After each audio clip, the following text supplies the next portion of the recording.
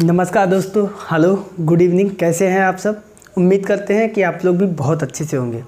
दोस्तों, आज का ये वीडियो विशेषकर संजय जी जो एक व्यूअर हैं, उन्होंने एक क्वेश्चन पूछा था जो कि कक्षा सात की गणित में शायद एक्सरसाइज सिक्स एफ़ का क्वेश्चन नंबर फोर है।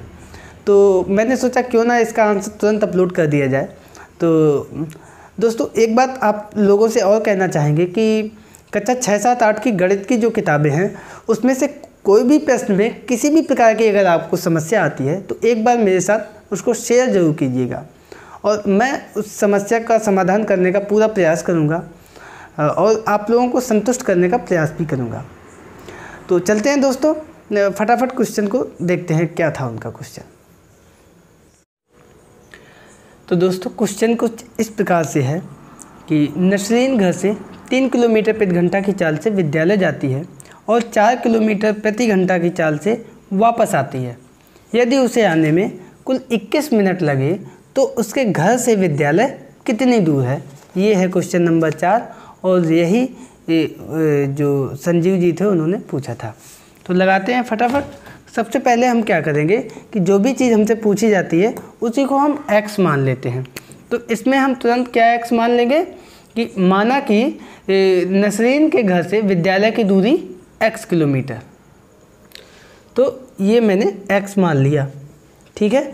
अब हमसे लास्ट में क्या कह रहा है? यदि उसे आने जाने में कुल 21 मिनट लगे तो यहाँ से प्रश्नानुसार प्रश्नानुसार आने में और जाने में कितना समय लगा? 21 मिनट। तो आने में लगा समय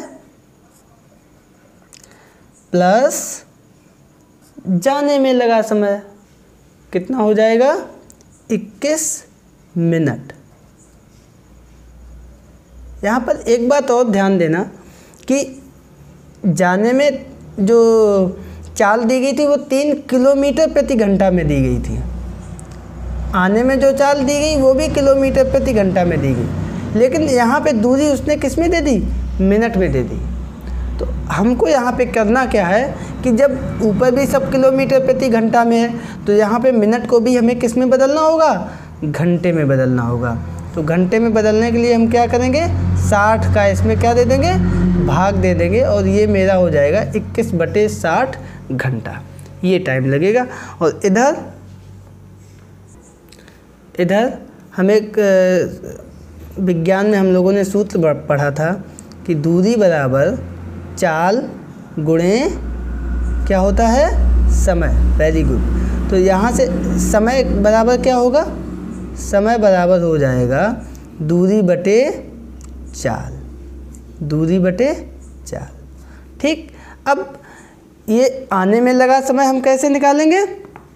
दूरी बटे चाल। तो दूरी कितनी है? एक्स मानी है मैंने और चाल कितनी है?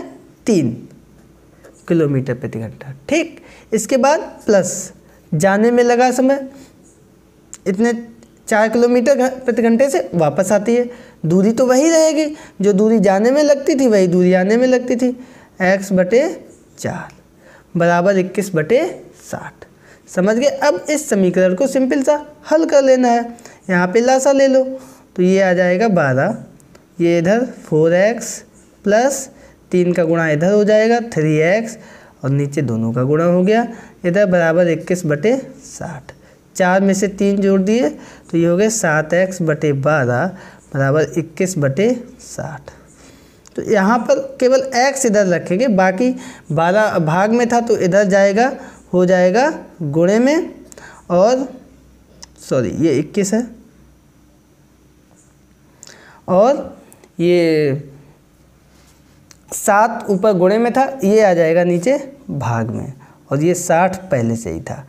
अब इसको हल कर लेना है, सात या इक्कीस। ठीक है? और बारह पंचे साठ। ये कितना आ गया? तीन बटे पाँच। तो पाँच का भाग दे दो तीन में।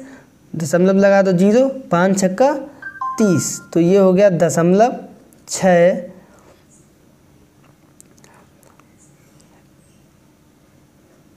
किमी। क्यों? किलोमीटर में दिया था तो आंसर मेरा किसमें आया? किलोमीटर में। यही मेरा क्या आ जाएगा? आंसर आ जाएगा। कैसे लिख देंगे इसको?